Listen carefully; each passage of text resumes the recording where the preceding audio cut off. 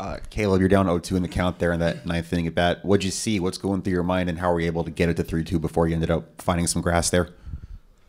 Uh, yeah, I got down 0-2 early, but I felt like I was on both of those pitches. Like my swing was feeling really good. I felt really locked in, so started throwing me some splitters and um, pretty tough takes, but got it done. And then just threw that fastball again. Got jammed pretty bad, but good result. So we're happy at the end of the day.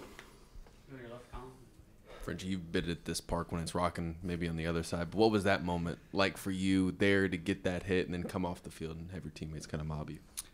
I mean, just being in that moment was awesome, and you know, just having Coach King being able to trust me in that situation was uh, pretty meant a lot for me. And uh, you know, just the overall atmosphere of this place is freaking crazy.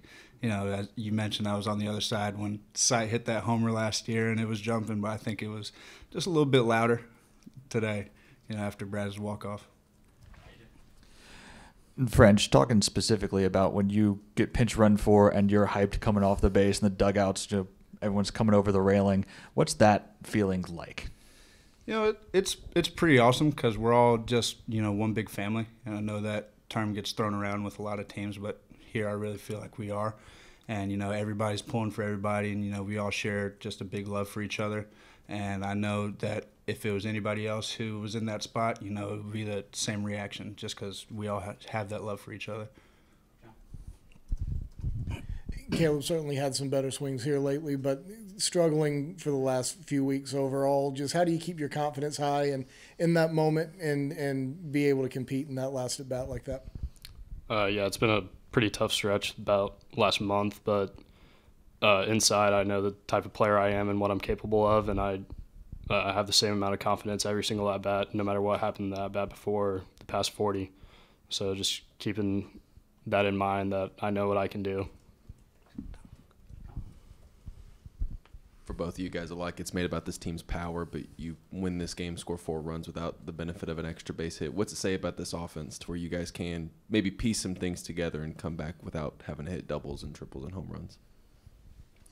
Uh, a big part of our offense is uh, you know just being able to win a ball game when the wind's not blowing out, and I think that's the the base foundation of what we do. Is you know we try to hit the ball hard the opposite way, you know through the four hole. That's our approach.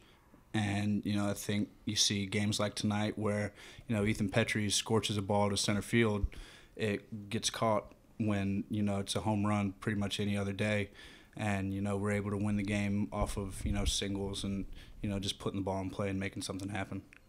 Yeah.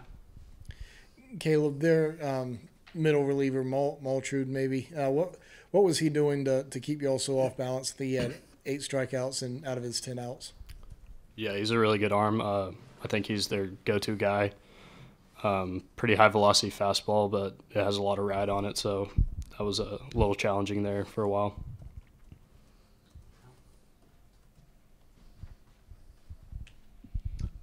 What's the mindset, I guess, for either of you? What's the mindset like when something like that's happening when you're struggling? You haven't had a lot of that this year, but what's it kind of like? What was it kind of like in the dugout, and what were you able to do to kind of pull out of that mentally as much as anything in the ninth inning? Uh, yeah, I think this team is very even keeled. We don't panic when there's pressure. Um, one of Kingston's saying is no panic, and I think that's true for this team. We uh, just attack every pitch like it's when we're winning or nothing, nothing, and we're losing. We just attack every pitch with uh, everything we have. Both these guys came in here as transfers, and yet the word family is probably the most popular word that I think has come out of the players' mouth this year.